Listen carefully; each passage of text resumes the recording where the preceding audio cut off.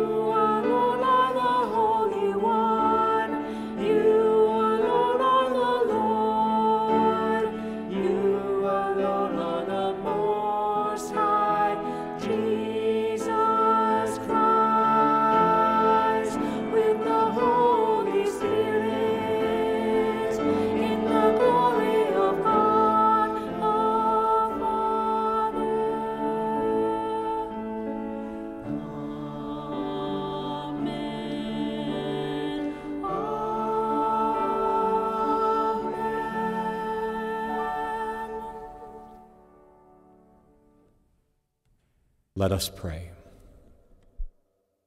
O God, who were pleased to give us the shining example of the Holy Family, graciously grant that we may imitate them in practicing the virtues of family life and in the bonds of charity, and so in the joys of your house delight one day in eternal rewards. Through our Lord Jesus Christ, your Son, who lives and reigns with you in the unity of the Holy Spirit, one God forever and ever. Amen. A reading from the book of Sirach. God sets a father in honor over his children. A mother's authority he confirms over her sons. Whoever honors his father atones for sins and preserves himself from them. When he prays, he is heard. He stores up riches who reveres his mother. Whoever honors his father is gladdened by children, and when he prays, is heard. Whoever reveres his father will live a long life. He who obeys his father brings comfort to his mother. My son, take care of your father when he is old. Grieve him not as long as he lives. Even if his mind fail, be considerate of him. Revile him not all the days of his life. Kindness to a father will not be forgotten, firmly planted against the debt of your sins, a house raised in justice to you. The word of the Lord. Thanks be to God. All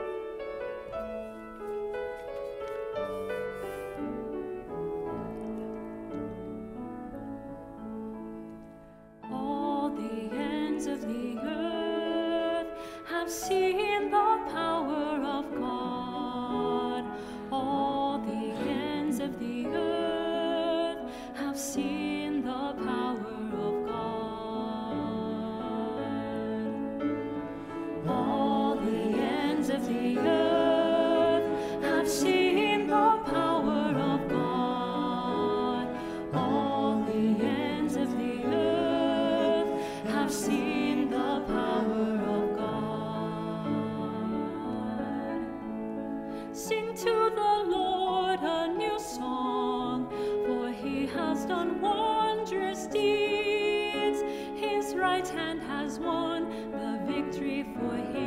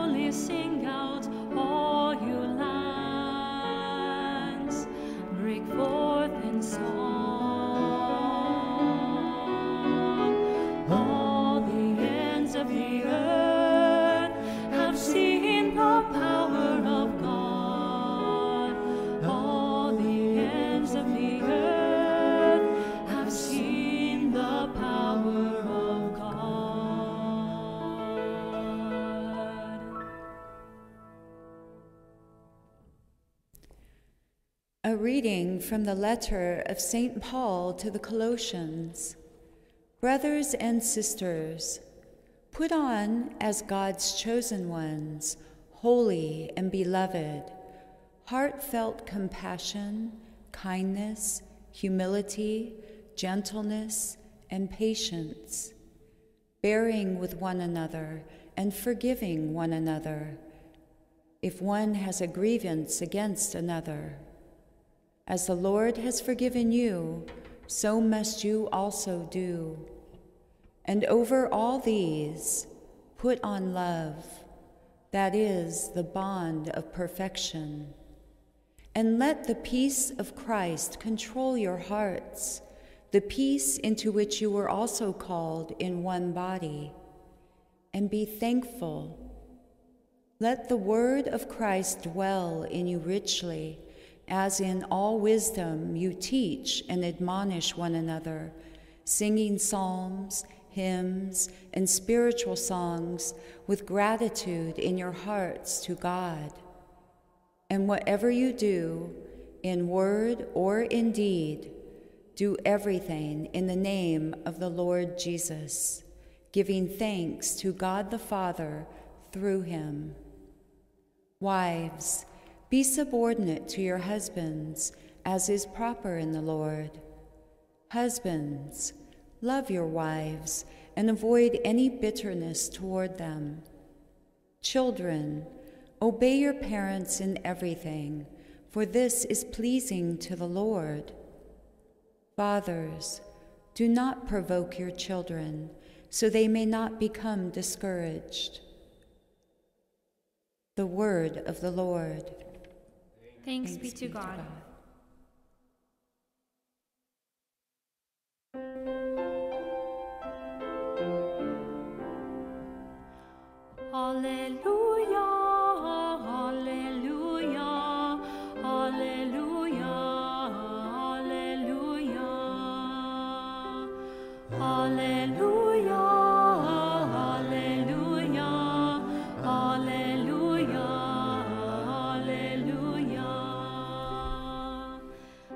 peace of Christ control your hearts. Let the word of Christ dwell in you richly.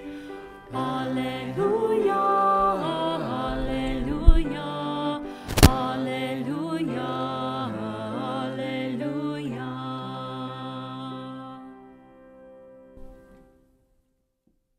The Lord be with you. And with your spirit. A reading from the Holy Gospel according to St. Luke. Glory to you, O Lord. When the days were completed for their purification, according to the law of Moses, they took him up to Jerusalem to present him to the Lord. Just as it is written in the law of the Lord, every male that opens the womb shall be consecrated to the Lord, and to offer the sacrifice of a pair of turtle doves or two young pigeons, in accordance with the dictate in the law of the Lord. Now there was a man in Jerusalem whose name was Simeon.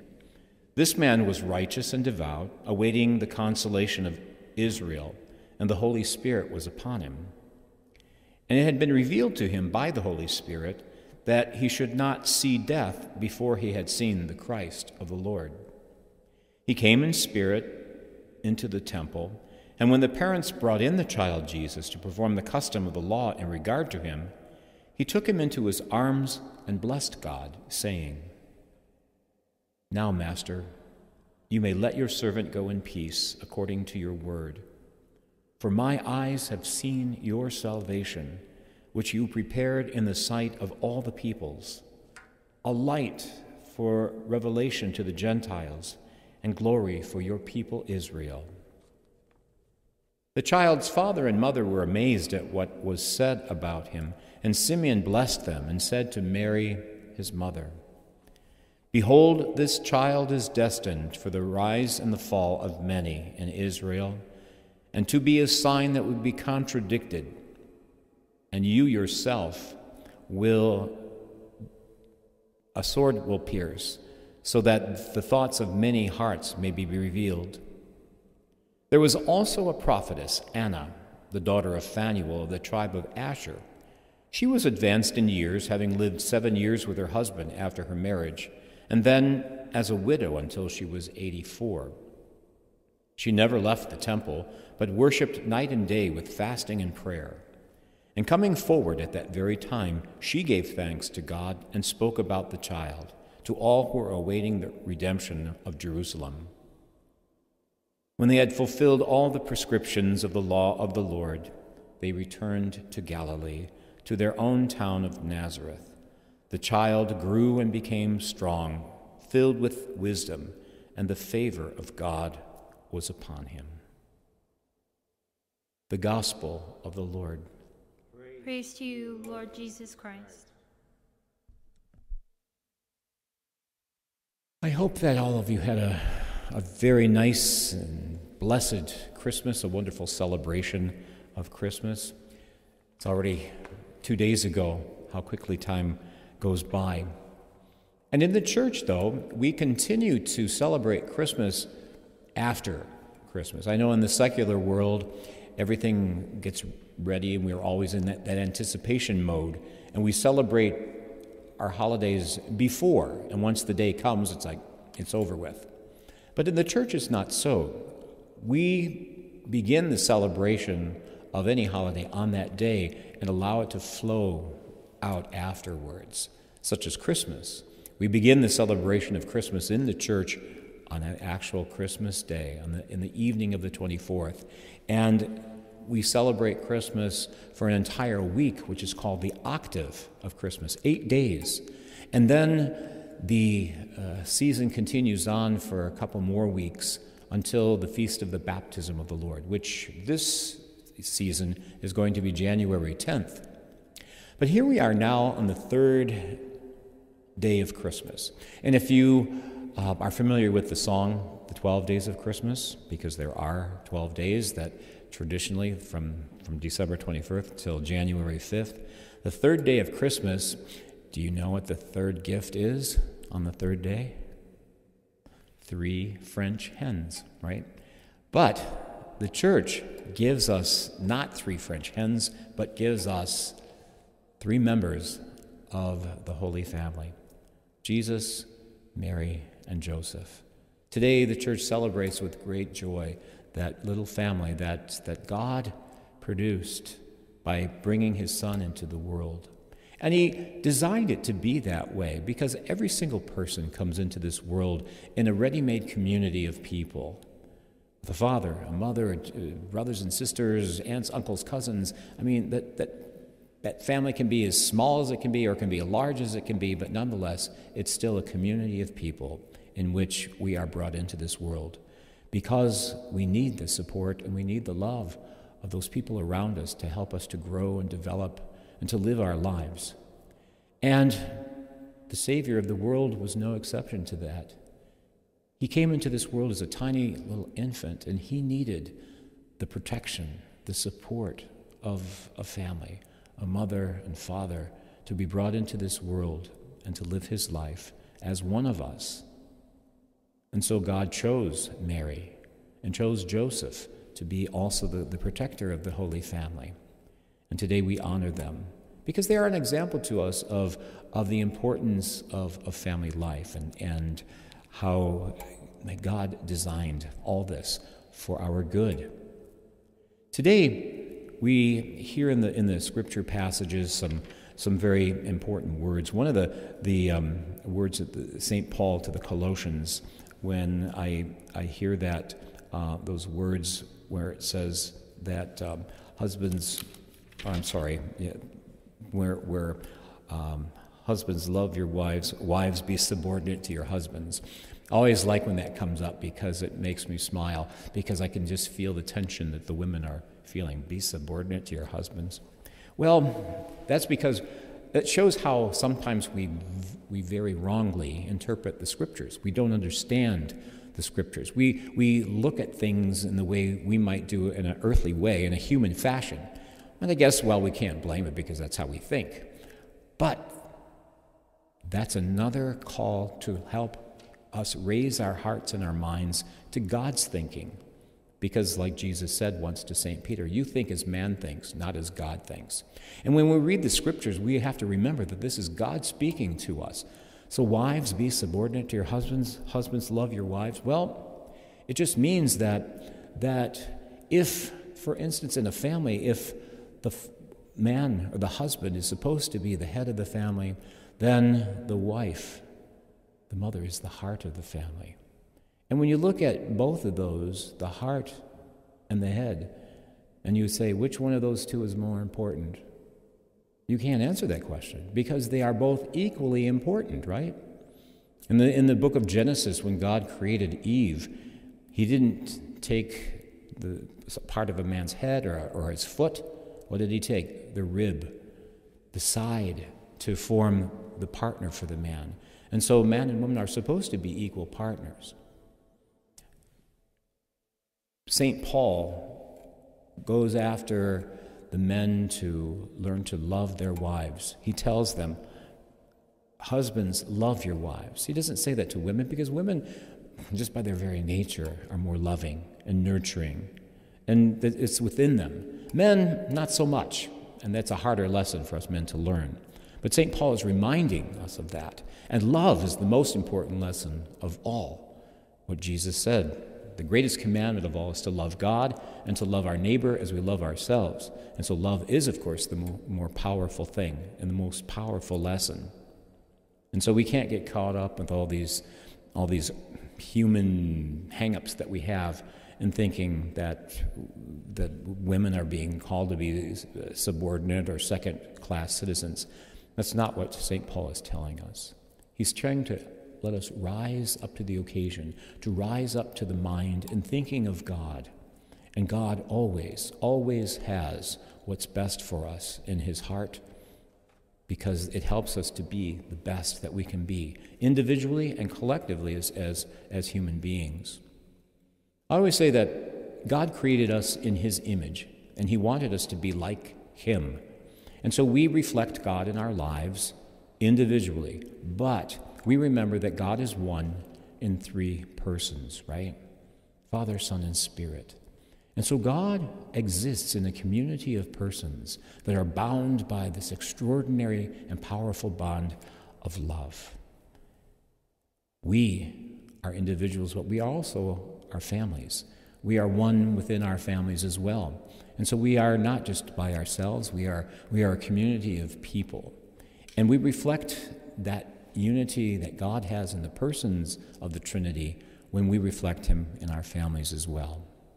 So, this Holy Family Sunday is a reminder to us that God has given us an extraordinary gift. And as we celebrate this Christmas season, which brings family and friends together, people who care about each other, who love one another, they come together to share time and to celebrate this, this festive and wonderful season, this great gift that, that God gave to us. It is a time to remember the gift of our families.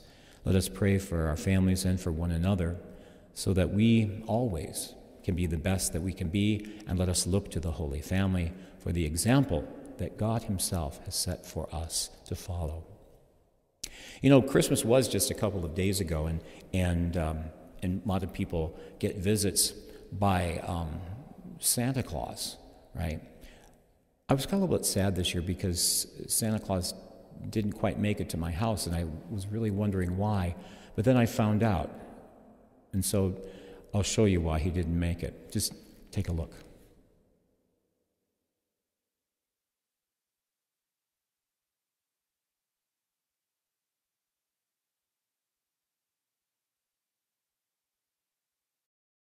Join with me now as we profess our faith. I believe in one God, the Father, the Almighty, maker of heaven and earth, of all things visible and invisible. I believe in one Lord, Jesus Christ, the only begotten Son of God, born of the Father before all ages, God from God, light from light, true God from true God, begotten, not made, consubstantial with the Father. Through him all things were made. For us men and for our salvation, he came down from heaven, and by the Holy Spirit was incarnate of the Virgin Mary and became man. For our sake he was crucified under Pontius Pilate. He suffered death and was buried, and rose again on the third day in accordance with the Scriptures. He ascended into heaven and is seated at the right hand of the Father. He will come again in glory to judge the living and the dead, and his kingdom will have no end. I believe in the Holy Spirit, the Lord, the giver of life, who proceeds from the Father and the Son, who with the Father and the Son is adored and glorified, who has spoken through the prophets. I believe in one holy, Catholic, and Apostolic Church. I confess one baptism for the forgiveness of sins, and I look forward to the resurrection of the dead and the life of the world to come. Amen. To God, the loving Father of the whole human family, let us pray in trust and love. For the Church, that we treat our sisters and brothers with compassion, kindness, humility, gentleness, and patience as we strive to build God's kingdom throughout the entire human family. We pray to the Lord. Lord, hear our prayer. For leaders of nations, that they may respect the bond of individual families as well as foster the unity of the human family across nations and cultures. We pray to the Lord. Lord, hear our prayer. For all families, especially those who have been affected by the pandemic, we pray to the Lord. Lord, hear our prayer. For all parents, that they may exercise patience as they raise their children with love and kindness, we pray to the Lord. Lord, hear our prayers. For healing and hope for parents who have lost a child, we pray to the Lord. Lord, hear our prayer. For members of this community, May they reach out to those without immediate family and offer their love and time and give witness to the bond we share in Christ. We pray to the Lord. Lord, hear our prayers. For all those who have died, especially Lucio Coronado Jr., may they be received into the everlasting joy of heaven. We pray to the Lord. Lord, hear our prayer and for the intentions of the repose of the souls of Ida and Orena Metoyer, for whom this Mass is offered, and for our own private intentions for which we pause to remember in a moment of silent prayer.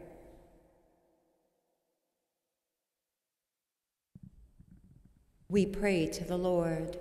Lord, hear our prayer.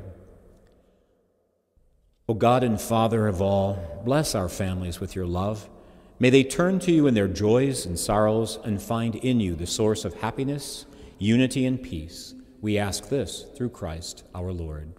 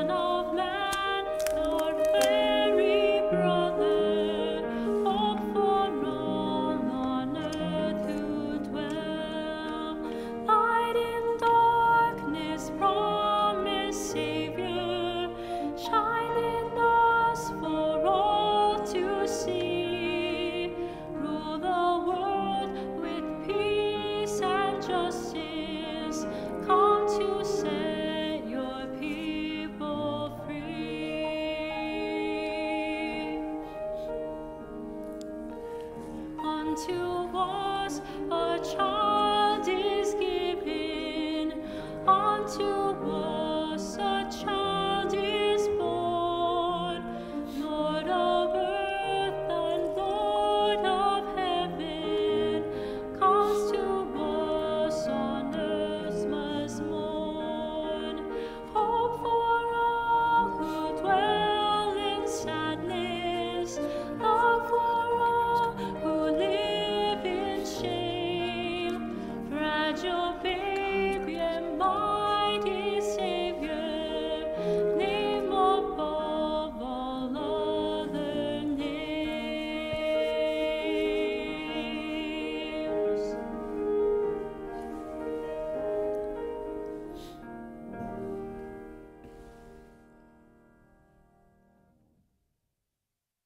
Please pray now, my brothers and sisters, that my sacrifice and yours will be acceptable to God, the Almighty Father. May the Lord accept the sacrifice at your hands for the praise and glory of his name, for our good and the good of all his holy church. We offer you, O Lord, the sacrifice of conciliation, humbly asking that through the intercession of the Virgin Mother of God and Saint Joseph, you may establish our families firmly in your grace and your peace through Christ our Lord. The Lord be with you, And with your spirit, and lift up your hearts, we lift them up to the Lord. and let us give thanks to the Lord our God. It is right and just. It is truly right and just, our duty and our salvation, always and everywhere to give you thanks, Lord, Holy Father, Almighty and eternal God, through Christ Jesus our Lord.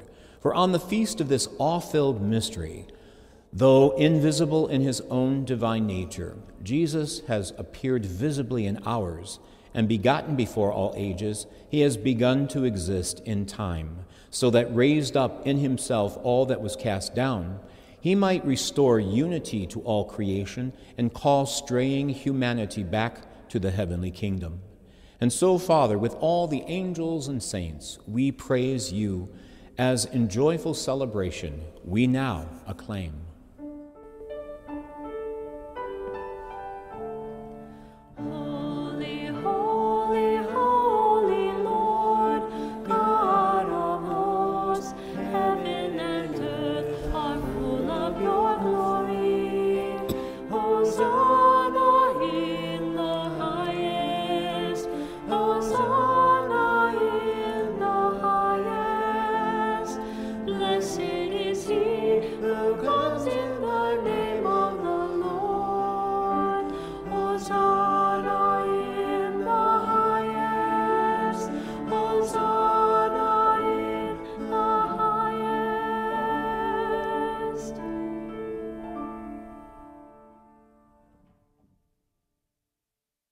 You are indeed holy, O Lord, and you are the fount of all holiness.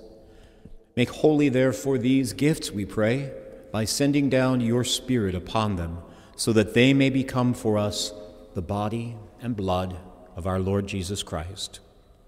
At the time he was betrayed and entered willingly into his passion, Jesus took bread, and giving thanks, he broke it, and he gave it to his disciples, saying, Take this, all of you, and eat of it, for this is my body, which will be given up for you.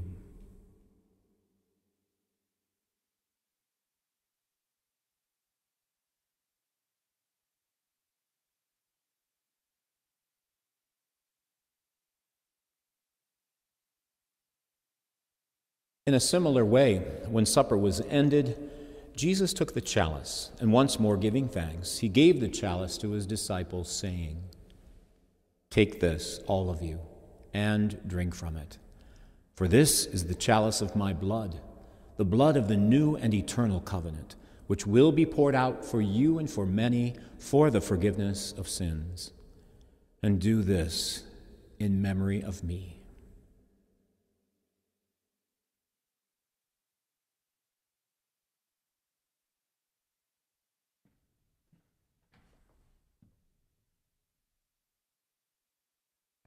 The mystery of faith.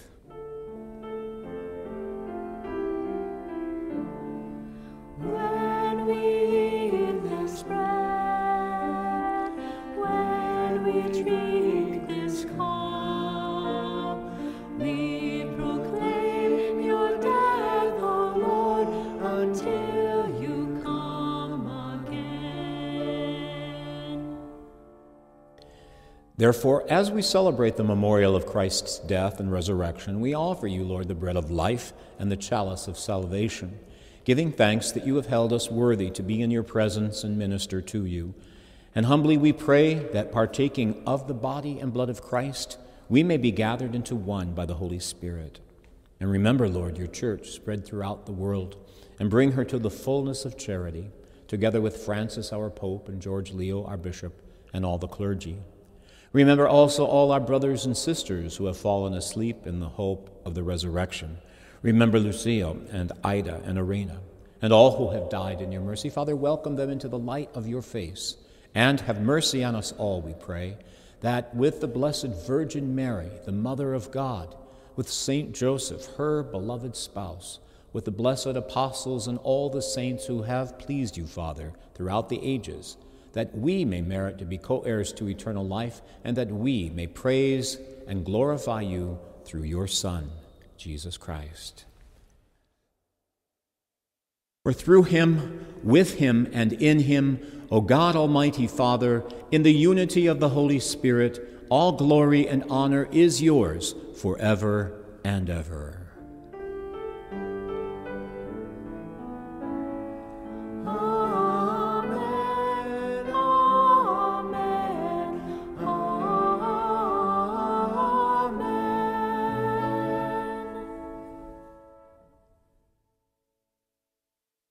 And now, at our Savior's command, informed by his divine teaching, together let us pray.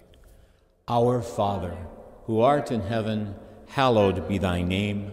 Thy kingdom come, thy will be done on earth as it is in heaven. Give us this day our daily bread, and forgive us our trespasses, as we forgive those who trespass against us. And lead us not into temptation, but deliver us from evil. Deliver us, Lord, we pray, from every evil, and graciously grant peace in our days, that by the help of your mercy, Lord, we may always be free from sin and safe from all distress, as we await the blessed hope and the coming of our Savior, Jesus Christ. For the kingdom, the power, and the glory are yours, now and forever. O Lord Jesus Christ, you said to your apostles, Peace I leave you, my peace I give you. Lord, look not on our sins, but on the faith of your church, and graciously grant her peace and unity in accordance with your will. For you live and reign forever and ever. Amen. And may the peace of the Lord be with you always. And with your spirit. And let us now safely offer to one another a sign of Christ's peace.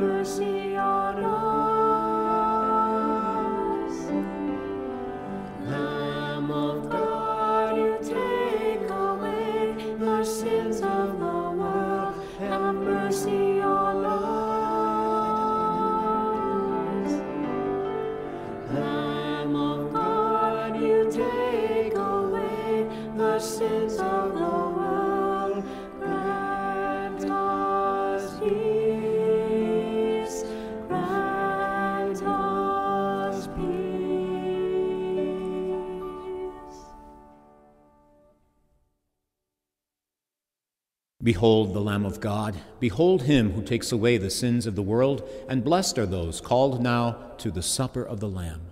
Lord, I am not worthy that you should enter under my roof, but only say the word, and my soul shall be healed.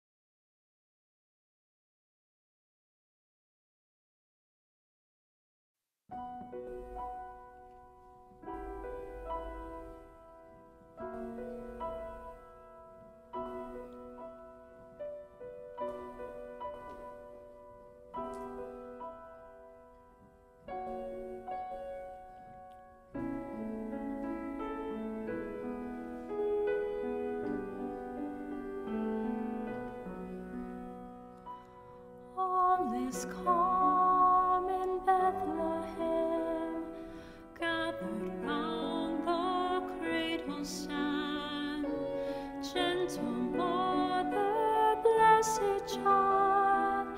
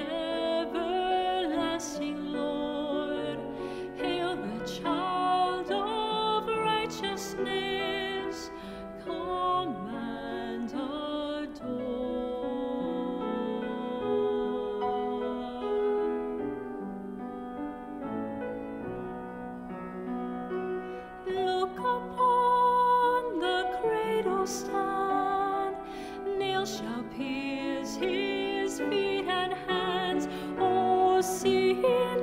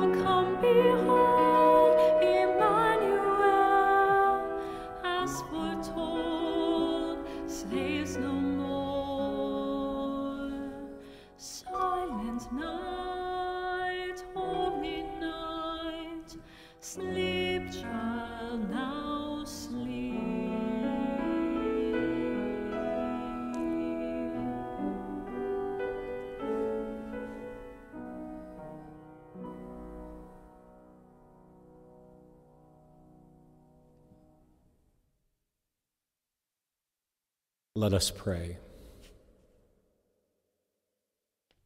Bring those you refresh with this heavenly sacrament, most holy Father, to imitate constantly the example of the Holy Family, so that after the trials of this world, we may share their company forever through Christ our Lord. Amen. Thank you, everyone, for being here today and celebrating this feast day of the Holy Family on this Sunday after Christmas. Thank you for being with us and praying with us. I hope that all of you had a blessed Christmas indeed, and that uh, you are still celebrating and uh, just having a great time during this wonderful season of the year. I thank you also for the support that, that you give to us through the year, and you have given us through this year, uh, because it's because of you that we were able to continue to minister to you and to bring you these masses and to do all that we can. So thank you for your support. We, we so much appreciate it. I'd like to thank our, our, our um, staff and our volunteers who are here today that are helping us bring this Mass to you. We thank Cheryl, who was our uh, lector today, Mikhail, of course, who mans the cameras, and George David and Annie here today with us, who was, who was singing with us and providing the music for us and lifting us up in spirit. So we thank you very much for that. And um, so, on behalf of Father Julian and myself, I'd like to wish you a very Merry Christmas season and a very Happy New Year, for we'll be ringing in the New Year 2021 in just a few days. And I, I don't think any of us are going to be sad to see 2020 go. But uh, we have new hope in the new year that the Lord is giving to us because God always brings a, a sunrise into our lives, and we always have hope in that. And we do hope that this year 2021 will be a year that will be happy for all of us and healthy for all of us as well. So join us, please, this coming week on New Year's Day. We will be celebrating Mass here, and uh, oh, excuse me, and we will see you then. So until then, may God bless you and may you enjoy this Christmas season. The Lord be with you.